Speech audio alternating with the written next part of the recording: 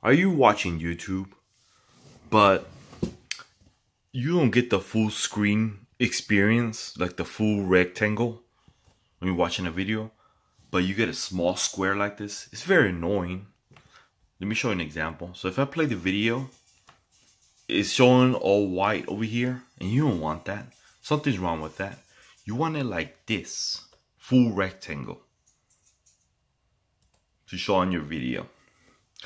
So I will show you how to fix that. It's very easy and it's not that hard. Okay, to fix that, just go these three um, little dots. Sometimes accidents happen, so on Zoom, go 100% you solve the problem. So if we press reset, I got some commercials. Sorry about that, guys. So if we press reset, we don't have that problem no more. So let's go back to um, Zoom 80%.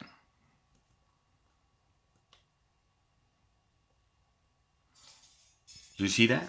You're having that problem. So that's how you fix it.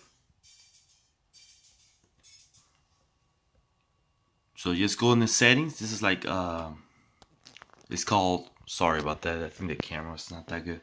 Customize and Google Control. Just go zoom 100%. That should solve the problem. You keep resetting. It should work. Just keep resetting. Now you don't have to worry about that little square. So that's how you fix the YouTube video small square problem. Thanks for watching. See you later.